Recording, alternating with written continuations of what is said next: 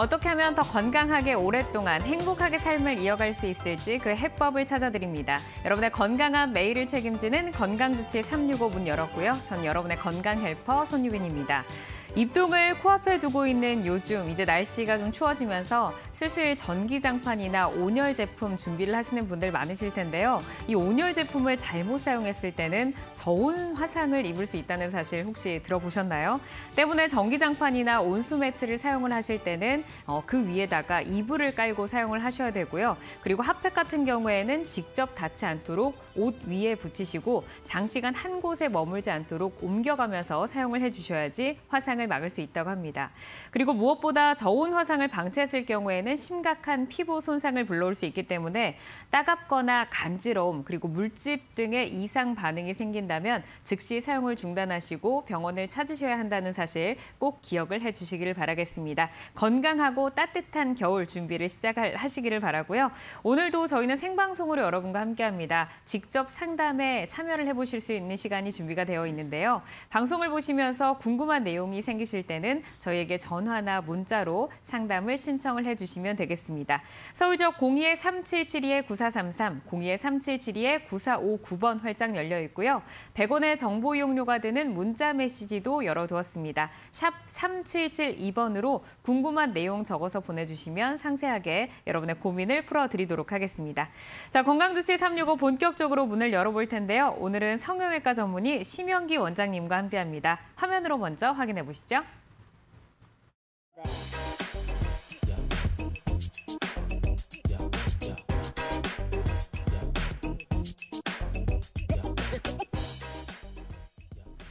네, 원장님 안녕하세요. 반갑습니다. 네, 안녕하십니까. 네, 오랜만에 네. 나오셨는데 잘 네. 지내셨나요? 네, 잘 지냈습니다. 네, 어, 지난번 방송에서 네. 너무나도 이제 재미난 이야기를 많이 아, 들려주셔서 네, 저도 팬이 돼서 기다렸는데 네. 오늘도 좀 좋은 말씀을 기대를 해보도록 하겠습니다. 예. 어, 오늘은 어떤 주제를 준비를 해오셨을까요? 오늘은 하지정맥류하고 만성 통증 전기 자극 치료에 대해서 두 가지 주제를 다뤄보겠습니다.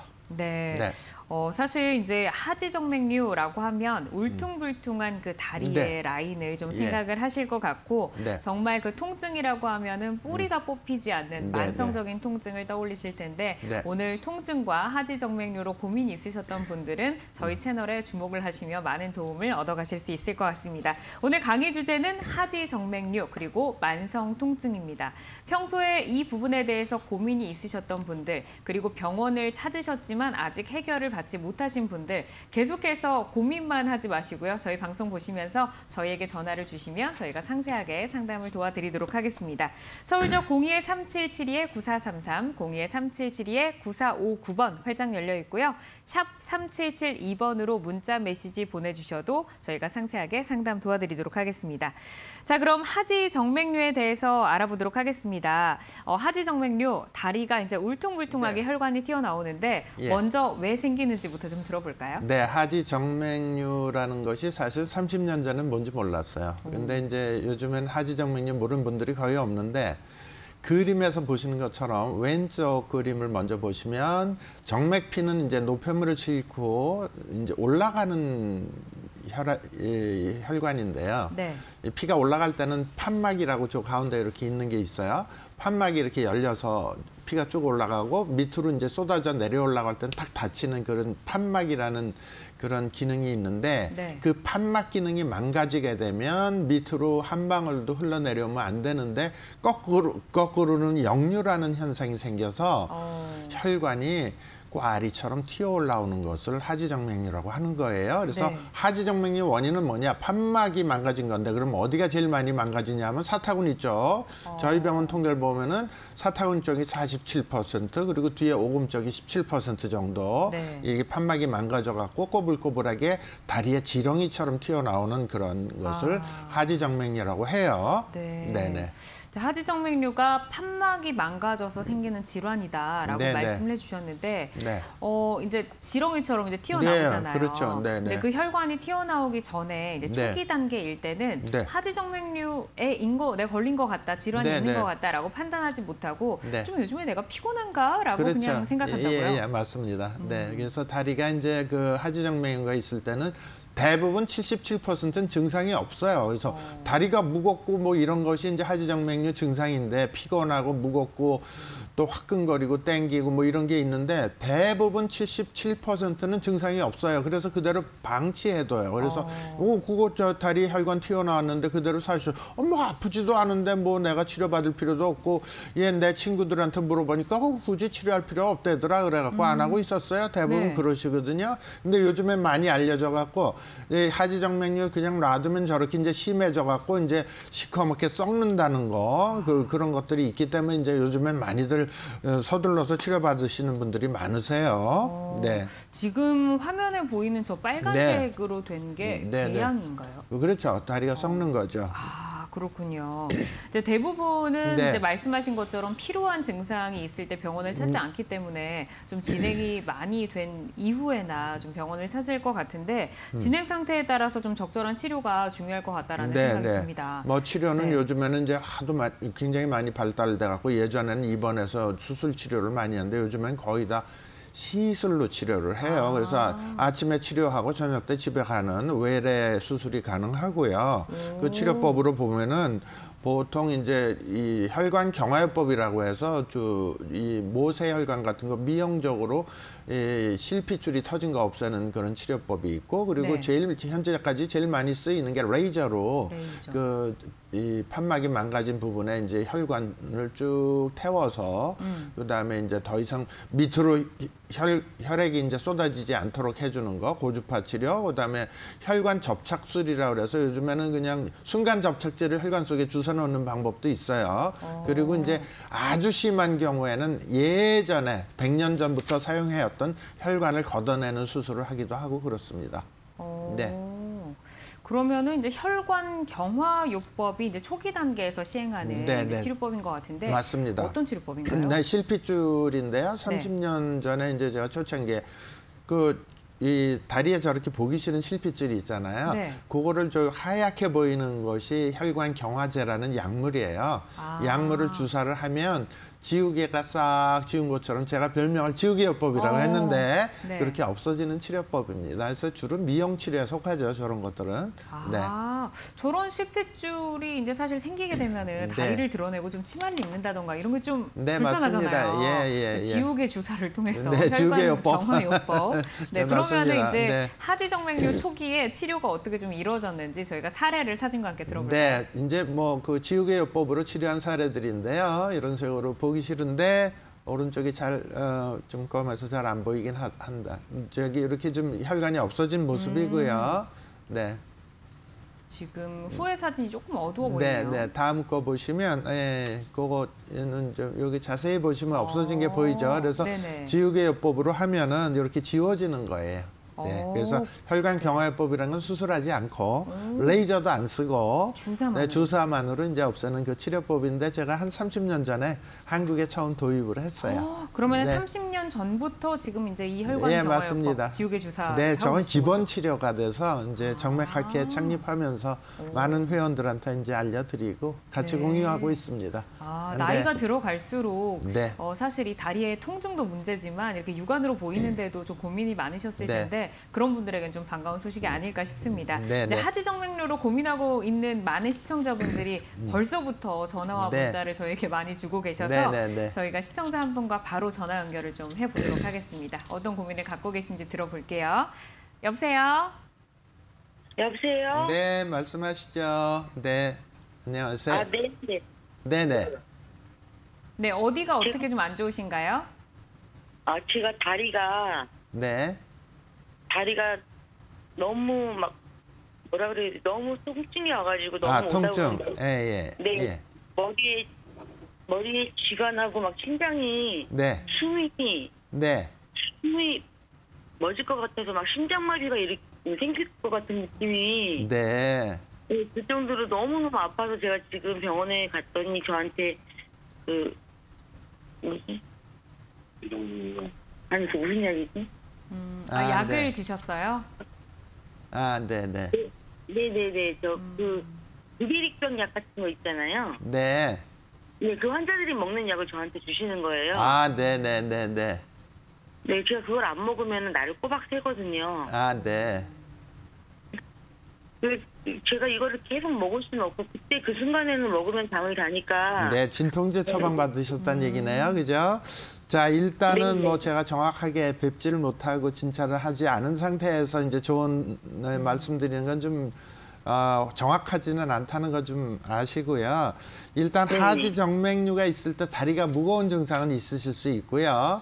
심한 네. 경우에는 근육 경련이 일어나는 근육통하고 같이 동반되는 경우가 있지만 요거는 하나는 하지 정맥류, 하나는 근육통이에요. 그래서 질, 질병이 틀린 거예요. 그래서 통증이 있으신 경우는 정맥류는 아닐 가능성이 많다 이렇게 보시면 되고 종아리 통증으로 호소를 하실 경우에 근육통. 근데 주, 주로 아프신 데가 장단지 쪽으로 아프세요. 그래서 장단지 쪽으로 이렇게 쥐가 나면 되게 아파요. 말도 못 해요. 근데 그거는 정맥류 증상일 수도 있지만 약 5%. 나머지 95%는 좌골 신경통에서 내려오는 게 많아요. 그래서 그건 정확하게 이제 좀 이따가 통증에 대해 다룰 때 조금 더 들어보시면 아 조금 이해가 더 낫지 않겠나 싶습니다. 네네. 아, 네, 시청자님 네, 혹시- 감사합니다. 네, 더 네, 내용 감사합니다. 네. 아, 네. 네. 혹시 이제 시청자님께서 그런 네네. 진통제 같은 경우는 계속 먹어도 되는지 복용을 해도 되는지 아, 그거 이제 여쭤보셨는데 저는 치료 자체가 진통 소염제를 끊고 시작해요. 아. 그래서 이제 뭐 그거를 드시면은 아무래도 위장 장애도 생기고 뭐 간장도 나빠지고 콩팥도 나빠지고 그렇잖아요. 음. 그래서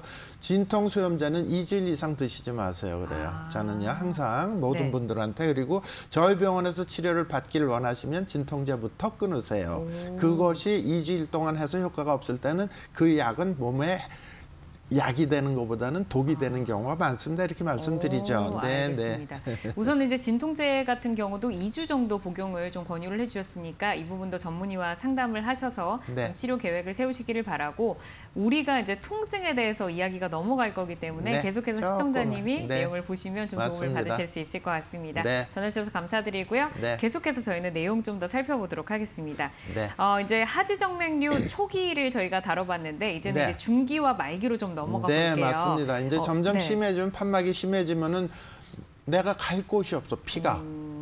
그러면 어떻게 하면 고이게 돼요. 음. 아. 고이게 되고 압력이 높아지니까 라면발, 우동발처럼 저렇게 아. 튀어나와요. 튀어나오게 되는 거예요. 그래서 제가 이제 삼기를 라면발이라고 이제 이 표현을 했고, 그다음에 사기를 우동발처럼 튀어나왔을 때, 음. 아. 이럴 때가 이제 그 중증 하지 정맥류 중기 중간 네. 정도 단계라고 보고요. 네. 이럴 때는 주로 치료가 레이저 치료로 많이 해요. 레이저 아. 치료로 해서 판막이 망가진 곳을 이 폐쇄를 시켜주는 거예요. 그래서 전후 모습을 보시면 여기 좀 혈관이 튀어나오고 그다음에 이제 치료 후에 없어진 거가 보이 시죠? 아. 그래서 네. 예, 이런 식으로. 근데 중기만 돼도 굉장히 네. 좀 심하다라고 어, 보여지는데요. 그렇죠. 근데 말기까지 저렇게 가신 분들도 있어요. 아. 말기는 손가락 주- 굵기 정도까지도 막 돼요. 새끼 아. 손가락 굵기까지도 되고 혈관이 튀어나온 게 네. 저런 경우에는 이제 수술을 하는 수밖에는 없다. 저렇게 심하잖아요. 좀 네. 징그럽죠. 예, 그래서 이런 식으로 해서 어쨌든 혈액 순환을 하지정맥류 치료하는 거는 거꾸로 흐르는 잘못된 이 고속도로에서 거꾸로 역주행하면 큰일 네, 나잖아요. 그죠. 그것처럼 수- 이 올라가는 상행선은 올라가는 차만 있어야 되고 하행선은 내려가는 차만 있어야 되는 식으로 의사들이 의사들이 하는 거는 어. 이 혈액 순환이 정상적으로 되도록 돌려주는 치료를 하고 있는 거예요. 네. 자, 하지정맥류 초기부터 네. 중기, 말기를 저희가 좀 살펴봤는데 네, 네, 사진과 함께 설명을 좀 들었습니다. 네. 자, 환자들마다 치료 효과는 다를 수 있는 점 이해를 해주시기를 바라고요. 어, 떻게 하면은 이걸 이제 치료를 할지 되게 궁금하실 것 같아요. 아, 이렇게 네, 치료가 네, 네. 되는 게 네. 혹시 몇 회 정도나 치료를 받으신 분들일까요? 뭐 치료는 뭐 이제 그 지구의요법 같은 경우는 3, 4회면은 되게 다 되고요. 그 다음에 그 레이저 치료 같은 경우는 1회로 끝나고 그 다음에 경과 관찰하는 거예요. 그렇군요. 그리고 시술도 마찬가지고요. 그래서 혈관이라는 건 굉장히 그 반응이 빠르기 때문에 부작용이 생겨도 10분 내에 알 수가 있어요. 흐름이기 때문에 음. 네네. 수도관 딱 터지면 금방 알잖아요. 물이 그렇죠. 쫙 바로 뛰니까. 네. 그 똑같은 원리예요. 그래서 혈관은 어, 치료하고 나서 부작용이 생겼다 그러면 금방 5분 내에 알 수 있고 응급처치 가능합니다. 음, 네. 알겠습니다. 이제 방송을 저희가 이제 하지정맥류에 대해서 지금 다루고 있고 이어서 통증에 대해서 좀 설명을 드리도록 하겠습니다. 방송을 보시면서 평소에 만성 통증과 그리고 하지정맥류로 고민이 있으셨다면 저희에게 전화나 문자를 통해서 궁금한 내용을 바로바로 풀어보실 수가 있고요. 서울 지역 02-3772-9433, 02-3772-9459번 전화 주시면 되고 아, 나는 문자가 편하다 하시는 분들은 샵 3772번으로 궁금한 내용 적어서 보내주시면 저희가 방송 중에 바로 바로 상담을 도와드리도록 하겠습니다. 저희 방송은 건강 상식에 도움을 드리는 프로그램이고요. 방송 중 알려드리는 정보만을 믿고 치료 결정을 내리지 말며 전문의와의 충분한 상담을 통해서 치료 방향을 결정하셔야 한다는 점도 기억을 해주시기를 바라겠습니다.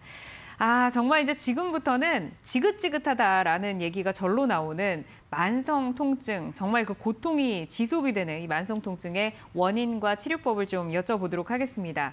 통증이라고 하면은 뭐 흔히 디스크다라는 정확한 질병도 있지만 질병명이 없이 그냥 나를 괴롭히는 이 통증들도 있거든요. 이런 답답한 통증이 대체 왜 생기는 걸까요? 글쎄요.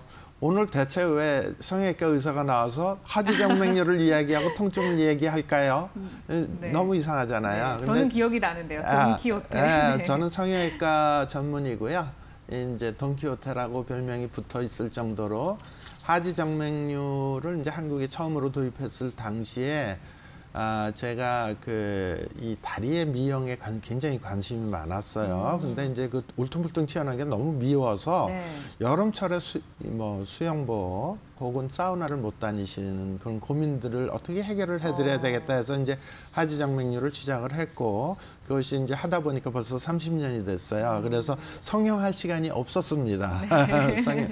그리고 이제 하지정맥류 전문으로 쭉 보다가 보니까 다리 통증을 해결을 못 하겠는 거예요. 정맥류는 수술이 잘 됐는데 계속 다리는 아프다고 그래요. 그래서 그걸 연구를 하기 시작했고 또 다리를 잘 고친다고 소문이 나니까 림프 부종이라고 불치병 환자들이 오- 오시기 시작했어요. 그래서 그걸 치료를 하다 보니까 새로운 치료법을 구사를 하다 보니까 고전압 전기 치료를 들여오게 됐고 그 림프 부종을 치료를 하- 하니까 상당히 그, 그 자리에서 부종이 빠지는 거예요. 근데 기가 막히게 통증이 있는 게 통증이 사라져요. 그래서 아, 이거 통증을 그럼 전문적으로 더 연구를 해야 되겠다 한 지가 벌써 5년이 됐어요. 네. 5년이 돼갖고 오늘 이제 지금부터 주제는 만성 통증인데 통증에 대해서 이제 정형외과 선생님들은 뼈를 중심으로 해서 아, 이게 뼈가 이렇게 해서 눌러서 아프신 거예요. 뼈가 여기가 조금 웃자랐네요. 뼈가 변형이 있어서 아프신 거 이렇게 얘기하잖아요. 신경외과 선생님들은 어, 신경이 거기가 눌려서 아프신 거예요. 이렇게 얘기하잖아요. 근데 저는 성형외과 선생님들 못생겨서 아픈 거예요. 이렇게 얘기는 못 하잖아요. 그래서 이제 제가 연구한 거는 네. 전기 생리학적으로 접근을 한 거예요. 그래서 우리 몸은 배터리예요. 배터리. 우리 우리 몸은 배터리 배터리인데 배터리에 전기가 없으면은 방전되죠. 뭐 어떤 것도 작동을 안 하잖아요. 그래서 네. 이런 노트북도 안 되고 핸드폰도 안 되고 요새 유행하는 전기 자동차도 배터리에 전기가 없으면 안 가잖아요. 네. 그런 식으로 세포는 지금 보시다시피 소우주와 같고 우리 몸은 20조 개 내지 30조 개의 세포로 구성이 돼 있어요. 네. 근데 그 세포는 전기가 없으면 세포는 다 죽습니다. 음, 세포가 뭐 먹고 사냐면 전기가 없으면 죽는데 어. 이 전기가 방전이 되면은 죽게 돼 있는데 왜 방전이 되느냐면 스트레스를 받거나 그러면 미토콘드리아에서 전기를 만드는데 미토콘드리아 발전기가 안 돌아가요. 그러니까 세포가 방전이 되고 세포가 방전이 되면 순환이 안 돼. 혈액 순환 중요한 거 다들 아시잖아요. 네네. 근데 미세 순환은 우리 혈액량보다 다섯 배가 많은 림프라는 순환이 있는데 그 순환이 안 되니까 림프가 깨끗한 물이 쫙쫙쫙쫙 쌓여 있어야 되는데 순환이 안 되니까 주위에 지저분한 가래침 같은 끈적끈적한 림프 찌꺼기가 쌓이기 시작해요. 그러면은 염증이 생기고 섬유화가 생겨서 통증이 발생하는 거예요. 음, 저는 그렇게 해석을 하고 있는 네. 거예요. 네, 네. 여기에서 새로운 게 등장을 했어요. 네. 세포가 방전이 됐고 우리 몸을 네, 네. 배터리로 이제 표현을 해주셨는데 네, 네, 네, 네. 어, 굉장히 제가 지난 시간에도 네, 흥미롭게 네. 들었거든요. 네, 맞습니다. 다시 한번 또 새로 듣는 어, 것처럼 세포는. 배터리인데요. 네. 그건 제가 얘기한 게 아니고 1930년도 노벨 의학상의 내용에 나오는 건데 저런 아, 식으로 네. 왼쪽에 그 파란 건 충전이 돼 있어서 굉장히 기분이 좋은 거예요. 어우, 네. 세포들도 다 눈세포가 좀 눈이 밝아지고요. 귀세포가 음. 좀 귀가 잘 들리는데 이것이 방전이 되면 통증이 생기거나 기능이 떨어지게 돼요. 그리고 음. 완전히 이 바닥 레벨까지 가면 암으로 변한 아. 암세포로 되는데 여기서 중요한 것은 정상일 때는 우리 체질은 알카리성 체질로 알카리 성분을 유지하고 있는데 암세포 쪽으로 방전이 될수록 산성 체질로 변한다. 이게 음. 굉장히 중요한 관계가 되겠습니다. 네. 네. 지금 방전과 이 충전을 네. 나누어서 표현을 해줬는데 네. 네. 보기만 해도 충전 쪽이 아주 획해 그렇, 보이네요. 그렇습니다. 네. 그래서 방전이 되면 세포 안과 밖에 림프 슬러지라는 쓰레기가 차이게 되니까 지저분한 쓰레기가 잔뜩 차여 있으니까 어떻게 돼요? 음. 균이 침입하면 균들이 아주 뭐 신나게 막 자라갖고 염증이 생기고 뭐 코로나 바이러스도 잘 걸리고 면역력이 아. 떨어지니까 네. 근데 충전이 돼 있을 때는 몸 세포가 튼튼하고 면역력이 높기 때문에 코로나 바이러스가 뭐 100만 개가 들어와도 끄떡없죠. 어. 네, 그래서 우리 몸은 항상 충전 상태를 유지하는 것이 가장 건강한 상태다 이렇게 보시면 되겠습니다. 그러니까 충전이 된 상태가 네. 우리의 면역력이 정말 굉장히, 극강이다 하는 네, 굉장히 좋은. 거죠. 네, 네, 네. 충전이 되면 면역이 좋, 좋죠. 네. 그러면 은 이제 지금 혹시 좀 방전이 된 상태로 내가 네. 요즘 피로하고 네, 염증도 맞아요. 많이 네. 생기고 이런. 분들이 네. 충전을 하면은 괜찮아지는 네, 건가요? 많이 좋아지시죠. 네, 네, 어, 네. 완화가 되는 것, 네, 통증이. 완화되는 것. 그래서 네. 치료 자체는 이제 전기 자극 충전 요법이라고 보시면 되는데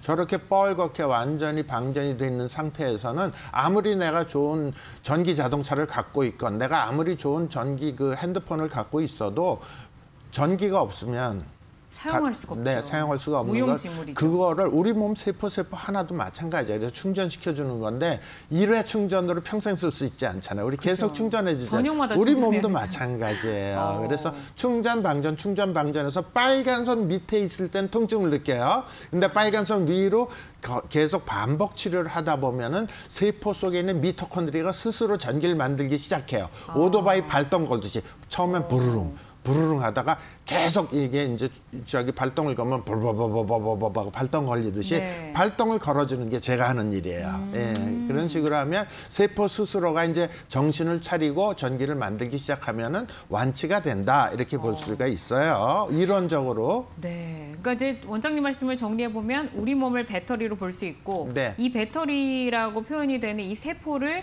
충전을 잘 시켜줘야지 네. 통증도 없고 맞습니다. 좋은 면역력을 유지를 할 수가 있다. 여기까지 네. 이해가 됐는데 네. 그리고 이제 반복적으로 충전을 해줘야 한다.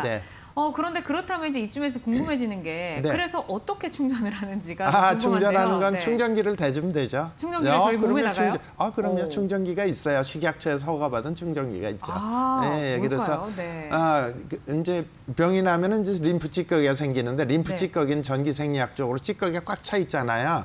그 방어벽이에요. 전기 투- 전기 소통되는 걸 막아버려요. 아 림프 찌꺼기가 충전을 하려고 해도 그걸 방해한다. 방해하죠. 그래서 그걸 녹이는 게 핵심이에요. 그래서 민, 림프 찌꺼기는 주위 주변 환경도 지저분해서 염증도 잘 만들지만 전기 생리학적으로는 이 전기가 소통이 안 되도록 하기 때문에 그걸 녹이는 게 중요한데 림프 찌꺼기를 분해시켜 주는 거예요. 저런 식으로 고전압으로 그런 식으로 해서 이제 세포가 충전이 되는데 림프 찌꺼기를 생기는 원인이 뭐냐면 약이에요. 가장 많은 게 약이고 네. 네, 약물이고 스트레스 받고 그러면은 저 항, 진통소염제가 이, 이 림프 찌꺼기를 만들어 버려요. 그래서 그걸 끊으라고 그러는 거예요. 그래서 전기자가 어떻게 하냐? 저기 보시다시피 여기 이, 이 피부에다가 이렇게 갖다 대면은 전기가 충전이 되는 거예요. 그래서 무릎이 아플 땐 무릎에다 대면 충전이 되고 머리가 아플 땐 머리에 대면 되고 코가 아플 땐 코면 되고 눈이 침침할 땐 여기다 대면 되고 귀가 안 들릴 땐 여기다 대면 되고 그래요. 충전을 혹시 충전할 때 아픈가요? 아프죠. 아, 그러니까 결국에는 이제 네. 이 전기 자극으로 아픈 부위에다가 충전을 시켜주면 되는데 네, 그 네. 충전을 시켜주기 위해서는 림프 찌꺼기가 없어야 되고 네. 림프 찌꺼기가 우리가 건강해지려고 먹었던 그 약 때문에 생기는 네. 경우가 많다. 네. 아 그렇군요. 그래서 아까 이제 시청자분이 질문을 잘 주셨네요. 네, 네, 진통소염제 네. 복용에 네, 대해서. 네. 자 그러면은 이제 많은 분들이 이 만성 통증을 겪고 있는 정말 많은 분들이 있잖아요. 이분들이 네. 이제 문자로 그 답답한 마음을 저에게 보내주고 계신데 네. 어떻게 조금 해결을 해볼 수가 있는지 시청자분의 문자를 만나보도록 하겠습니다. 네. 네, 첫 번째 문자는 3972번님의 문자인데요. 네. 식당에서 일을 하시는 50대 주부시고 2년 전부터 앉을 때 엉덩이와 다리에 통증이 심했습니다. 오랫동안 서서 일하는 직업이어서 자주 다리가 시리고 저리는 증상이 있고 출퇴근할 때 오래 서 있으면 척추부터 하반신 부인들이 아파서 고통스럽습니다라고 하셨는데 네, 네, 네, 2년이나 네. 되셨네요 지금. 2년 되신 분들은 그래도 짧을 수가 있어요. 저희 병원에 오신 분들은 10년 동안 아프신 분들도 있고 뭐 어. 여러 가지 병원에 다녀서 이 치료 저 치료 받아도 그때뿐이고 어. 그런 경우들이 많은데 대부분 에, 주로 서서 일하거나 장시간 네. 앉아서 일하시는 분들은 지금 현, 현대의학인 CT나 MRI로 진단이 안 되는 좌골신경통인 경우가 많아요. 음. 좌골신경통은 뼈 바깥으로 나와서 신경이 이렇게 뭉쳐져 있는 건데 네. 바로 힙부 뒤에 있어요. 아. 힙 엉, 어, 엉치 속에 있어 내려가고 다리 쪽으로 쭉 내려가는데 네. 좌골 신경통이 있을 때 CT나 MRI 진단이 안 되니까 좌골은 무시하고 그냥 허리만 딥다 치료를 하는 경우들이 많거든요. 어. 그래서 이제 그런 경우에는 이 좋아지질 않죠. 주 네. 원인이 된 게 좌골인데요. 그래서 이제 그런 것들을 치료를 하면은 되고 대부분 좌골이 나쁘면 어, 이렇게 앉아 있으면 굉장히 다리가 불편해요. 그리고 다리가 뻐근하고 장단지에 근육통도 같이 동반이 되고 심하면 족저근막염이 생기고요. 그리고 좌골신경통의 일정인 건데 항문 거근 증후군이라고 있어요. 네. 대변을 봤는데 대변이 또 마려워요. 그리고 어. 대변을 이, 보고 나서도 계속 무지룩하고 아프고 그냥 뭐 항상 그래서 화장실을 하루에도 수십 번 가는데 대변은 안 나와. 음. 그거를 항문 거근 증후군이라고 그러는데 네. 그 치료법이 없어 지금 현대의학으로 불치병으로 돼 있는데 그런 것도 다 좌골신경통의 일종이에요. 그래서 그런 것도 전기를 충전시켜 주면은 뭐 한 80% 이상 좋아져요. 아. 네. 그러니까 결국에는 이렇게 앉아 있는 게 편해야 되는데 네. 앉아 있을 때 네, 다리가 맞아요. 아프고 예, 예. 족저근막염도 네. 생기고 예. 네. 좌골신경통일 수가 있다. 아, 제, 재미있는 게 뭐냐면 현대의학은 너무나 세분화가 돼 있어서 코 보는 선생님 딸이 있고 눈 보는 선생님 딸이 있고 막 그렇잖아요. 귀 보고 입 보고 그다음에 네. 치아만 보는 선생님도 네, 있고 네. 어깨만 보는 선생님도 있고 날개 쪽 네. 그다음에 파- 팔꿈치.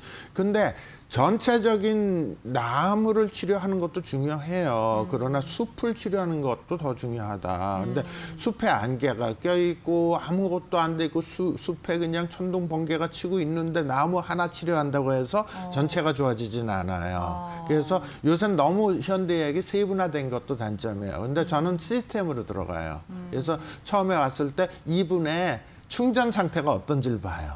아. 어, 전신 상태가 네. 그래서 전신 상태 사령부는 어떤지 그 밑에 예하보다는 상태가 어떤지를 봐요. 아. 그래서 여기가 아파서 오셨는데 실제로는 원인은 여기 사령부에 문제가 있는 경우도 많아요. 오, 제가 이 다음에 질문을 드리고 싶었던 게 음, 아, 바로 그래요? 이거였거든요. 네, 그런 네. 내용으로 이제 또 얘기를 네. 하면 그게 뭐냐면 음. 통증 유발점이라는 개념이에요. 아, 통증 유발점. 예, 통증 유발점이라는 개념은 네. 사령부에 문제가 있는데 자기가 아픈 거 느끼는 건 손이 아픈 맞아요. 거예요. 지금 저게 이제 어, 문제가 있는 게 어, 네. 왼쪽 그름에 빨갛고 하얀 게 문제가 있는데 자기가 아픈 건 손이 아픈 거예요. 어. 그래서 사령부는 그럼 어디냐? 사령부는 우리 뇌하고 척추죠. 뇌와 척추. 네, 그게 사령부예요. 그래서 이제 음. 사령부에 문제가 있는데 본인이 아픈 건 그래서 통증 유발점인데 통증 유발점은 하나가 있는 게 아니고 여러 개가 있기 때문에 어. 시스템으로 여기가 손이 아프다 그러면은 목의 사령부부터 네. 어깨까지 쫙 진단을 해야 돼요. 아. 음, 치료도 마찬가지고요. 아, 그러니까 어디가 아픔이 시작되는 유발점인지를 잘 네, 먼저 진단을 해야지 치료가 되겠네요. 네, 문제가 있는 데는 내버려두고 문, 문제가 가려져서 싹 숨어 있잖아요. 음. 그걸 찾아내갖고 하는 게 명수사관이죠. 아, 그러게요. 네. 근본을 찾아내가지고 네, 맞습니다. 네, 네, 네. 어, 그러면은 이제 계속 아프신 분들이 이제 만성 네. 통증을 치료하러 이제 병원에 네. 가셨을 때 치료가 네. 어떻게 이루어지나요? 치료는 일단은 이제 어떤 부분이 이분한테 고통을 주는 부분인지를 음. 찾아내고 그다음에 이제 치료는 뭐 저, 저는 오늘 주제가 전기 자극 충전요법이니까 그렇고 네. 옛날에는 침 넣고 부항 넣고 물리치료하고 주사 뼈 주사 스테로이드도 맞고 진통제 이완제도 먹어보고 도수 치료도 하고 체해 충격파도 하고 그래도. 안 좋아지신 분들이 오세요. 네. 그래서 네. 이제 수술 치료는 맨 마지막에 하는 거고 수술은 함부로 칼을 대갖고 그것이 100% 낫는다는 보장이 있는 것도 아닌데 수술은 최종적으로 이것도 해보고 저것도 해봤는데 이제 전기 자극 충전 요법은 조금 새로울 수 있어요. 맞아요. 네, 그 전에는. 아, 처음 들으신 분들이 아마 100명 중에 95명은 처음 들어보셨을 거예요. 네. 세포를 충전시켜도 치료한다. 어우, 우리 몸이 배터리라고? 음. 뭐 그런 말이 다 돼? 일리는 있어 보인다. 내 믿음이 안 가. 그러시는 분들도 있어요. 근데 네. 실제로 병원 열 군데 들렸다 오시는 분들은 치료 받아 보시고 나서는 이제 뭐 많은 분들이 다는 아니지만 어, 이거는 좀 더 틀리구나. 방향 접근이 이렇게 생각하세요. 음, 네. 저희가 이제 방송 중에 하지정맥류 그리고 만성 통증에 대해서 지금 말씀을 전해드리고 있는데 특히나 만성 통증 같은 경우에는 너무도 아프고 내 맞아요. 생활의 삶의 예. 질이 떨어지고 네, 네, 또 네. 어디 병원에 가야 할지도 모르겠고 네, 도수 네. 치료 뭐 계속 반복하고 있지만 계속 아프고 해서 답답한 분들 많으셨을 것 같습니다. 네, 네. 오늘 이제 저희가 전기 자극을 통해서 어디에서 내 그 고통이 시작이 되는지 유발점을 찾고 전기 자극으로 치료를 하는 방법을 설명을 해드리고 있는데요. 과연 나도 그 자극으로 치료를 받을 수가 있는지 그리고 나의 통증은 치료가 되는 통증인지 많은 것들이 궁금하실 텐데 저희 방송은 생방송으로 함께하고 있기 때문에 방송 보시면서 궁금한 내용 있으실 때는 저희 화면에 고지가 되고 있는 전화번호 그리고 문자로 전화를 주시면 되겠습니다. 서울 지역 02-377-9433, 02-377-9459번 활짝 열려 있습니다. 저희는 계속해서 내용을 좀 살펴보도록 할 텐데요. 그러면 이 전기 자극 신경 치료 네. 과연 어떻게 하는 건지 아, 무엇인지 설명부터 좀 예, 들어볼까요? 전기자극 신경 치료라는 건 좀 새로운 개념이에요. 새로운 치료법이고 그런데 이건 전압이 높아요. 고전압을 음. 이용해서 전류 들어가는 건 미세 전류라서 아주 미약한 전류로 해서 세포를 일깨워주고 충전시켜준다 이렇게 어. 생각하시면 되겠습니다. 네, 충전을 시켜준다. 그러면은 전기 자극의 기능을 어떻게 볼 수가 있을까요? 전기 자극은 이제 림프 찌꺼기를 분해시켜 줌으로써 절연 작용을 없애고 그리고 우리가 진단할 때 전기 마찰 현상이라는 게 있어요. 그래서 네. 나쁜 데는 대면은 지지직 지지직 소리가 나요. 근데 어. 정상인 데는 전기를 빨아들이지 않는 전인 현상을 이용해서 치료를 해서 이 그- 여긴 정상인 데는 대도 아무렇지도 않아요. 여기 대도 안 아파요. 근데 나쁜 데 되면 아 그래. 거기 왜냐면 전기가 떨어져 있으니까 전기 들어갈 거 아니에요. 여기 그럼 꽉 찼으니까 아픈가요? 얘네들은 꽉 찼으니까 여긴 전기 안 들어가요. 네. 근데 여긴 아픈 데는 전기가 많이 부족한 상태잖아요. 네. 방전 여기서 전기 들어가면 찌릿하고 아프죠. 어. 그래서 이제 이게 반복이 되면 림프 찌꺼기가 분해가 되면서 전기 소통이 되고 세포막이 충전해서 이게 콘덴서 역할을 해, 축전지 역할을 해. 세포막이 거기에 이제 전기가 꽉 차면은 미토콘드리아가 막 열심히 이제 전기를 만들기 시작해요. 그래서 우리 몸에 세포 속에 미토콘드리아가 이제 되게 많은데 그 중에 미토콘드리아의 그 밀도가 가장 많은 데가 눈 망막 세포예요. 망막 우리 몸에서 있는 망막 세포는 계속 24시간 눈 떠 있을 때는 그 이 모든 거를 정보를 해석해서 뇌로 보내주는데 눈이 침침할 때 여기다 딱 1분 동안 되면 눈이 환해지고 밝아져요. 어. 그래서 미토콘드리아 가장 많은 눈 세포가 가장 반응이 빠르다 이렇게 보면 되고요. 네. 그다음에 소화기 쪽도 네네. 굉장히 급성으로 체했을 때 딱 되면 체한 게 쫙 풀어지고요.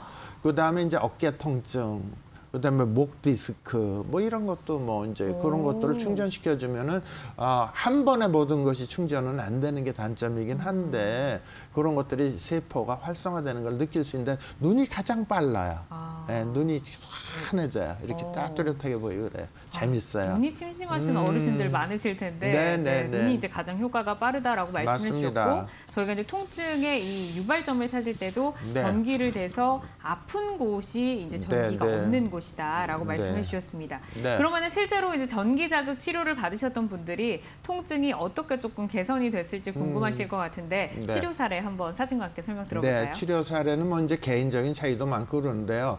저분 같은 경우도 열 군데 이상 다니다 저희 병원에 오셨던 분이 있는데 그 근막 통증 증후군이라고 해서 그- 거기 뼈 주사, 스테로이드 주사를 하도 많이 맞아갖고 피부가 그 징그러워서 제가 사진을 안 올렸는데 피부가 괴사가 되고 썩고 진물이 나는 상태로 오셨어요. 아, 59세. 네, 네. 그래서 그거를 치료를 했는데 통증이 사라지고 피부가 재생이 됐던 사례죠. 아, 이분이 뭐 성공 사례입니다. 어? 색깔이 다리 아, 네. 사진이. 뻘건 게 이제 염증이 있는 건데요. 아. 이제 뻘건 게 없어진 게 좋아진 거죠. 정상으로 어. 된 거죠. 네. 그러면 혹시 지금 59세 이 환자분은 네. 이 전기자극 통증 치료를 몇 회 정도나 받으셨을까요? 어, 제 기억으로는 뭐한 10 회 정도 일주일 간격으로 일주일 그렇게 해서. 좋아지신 사례로 생각이 됩니다. 네, 두 달 반 정도 치료를 받으셨던 네. 사례고 다음 사례는 이제 80대 남성분이시네요. 아, 네. 이분은 조금 좀 쉽지 않은 대상포진 후유증으로 바람만 스쳐도 아픈 게 대상포진 후유증이거든요. 그래서 대상포진 포진 후유증은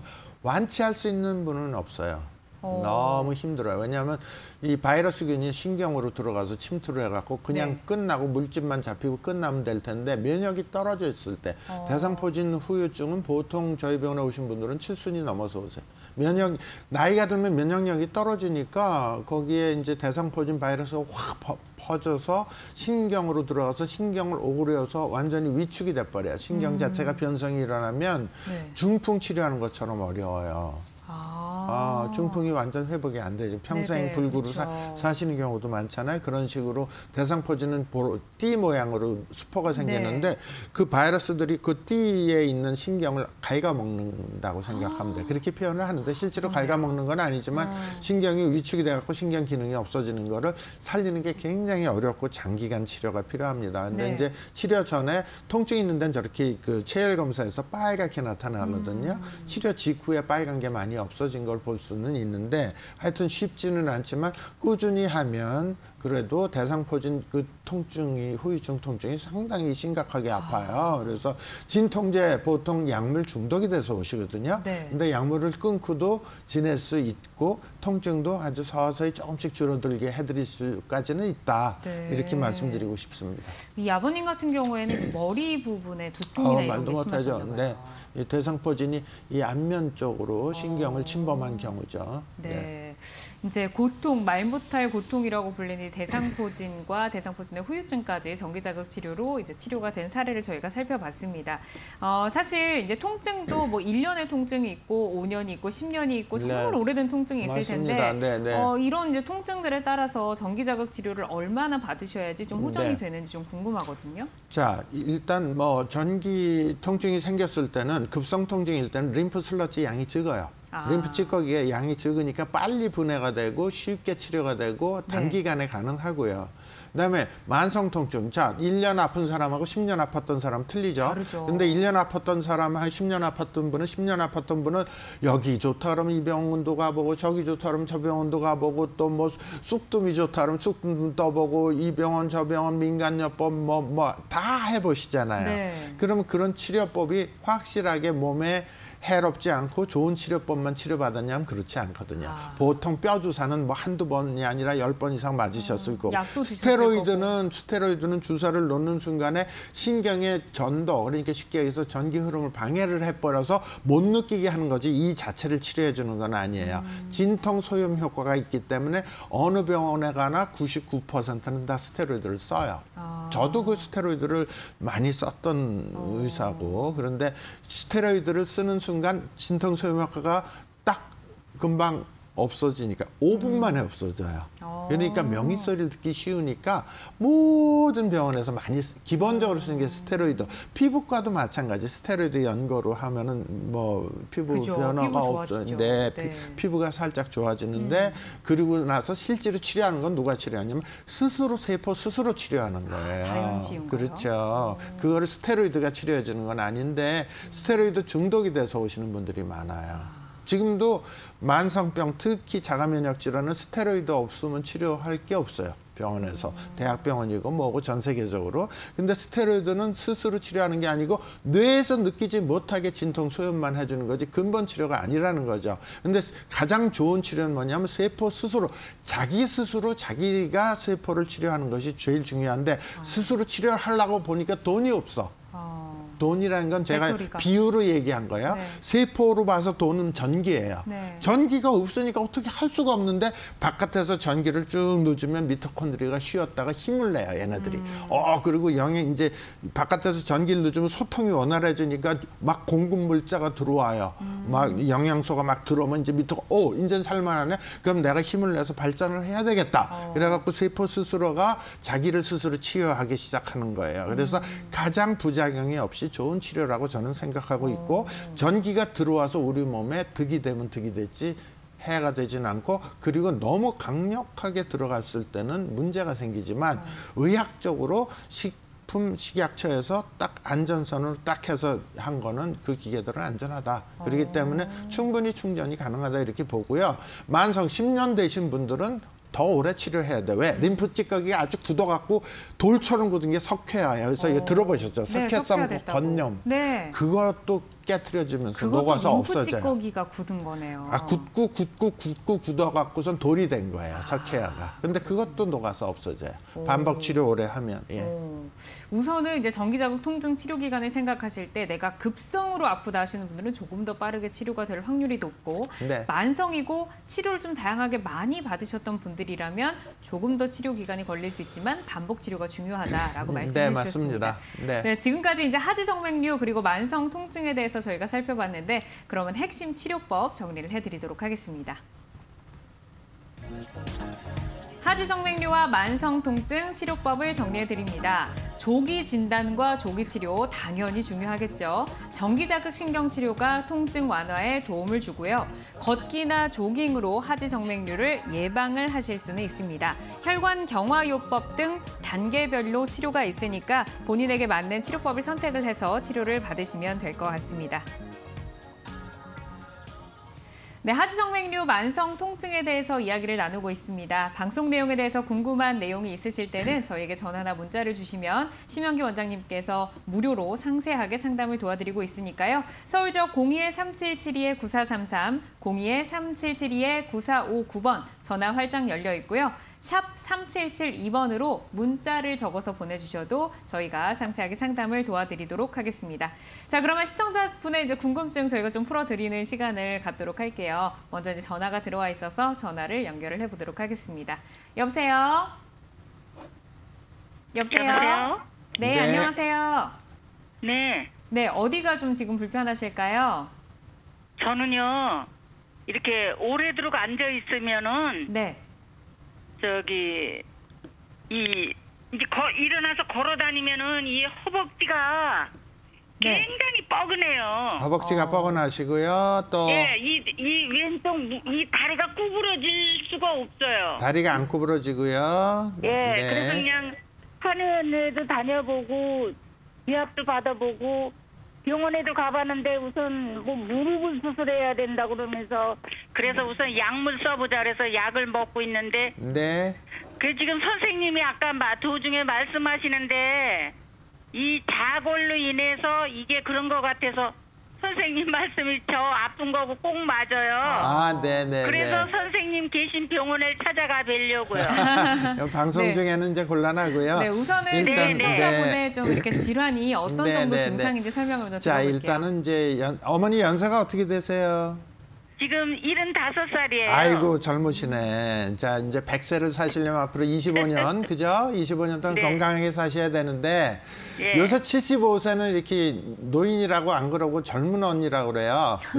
그래서 100세 시대이기 때문에 근데 이제 75년 동안 쓰셨기 때문에 그 세포 자체가 75년이 됐다 보시면 되고요. 그 세포 네. 속에는 찌꺼기가 많이 차여 있을 거예요. 75년 되면. 그래서 75년 되면 여기저기 안 쑤신 데가 없어요. 조금씩 다 쑤시고 그리고 옛날에 젊었을 때는 달리기도 잘했는데 그것도 안 되고 그러니까 막 네. 성질도 나고 아우 내가 얘, 옛날에 젊었을 땐 한미모 하고 막 뛰었는데 그거 못 하겠어. 왜 그렇지? 아이고 나이 들었으니까 그렇지. 아무리 나이 들었어도 그렇지. 이건 너무 안 좋아. 그러신 분들이 많아요. 아, 허리도 아파. 허리, 다리, 무릎, 머리 다 안 쑤시는 데가 없으면 어떡하면 좋아. 이게 뭐냐면 연세가 드시면은 전기가 젊은 사람은 이렇게 충전이 됐어요. 이렇게 충전이 돼 있는데 자 5학년이 됐어. 그러니까 조금 줄어.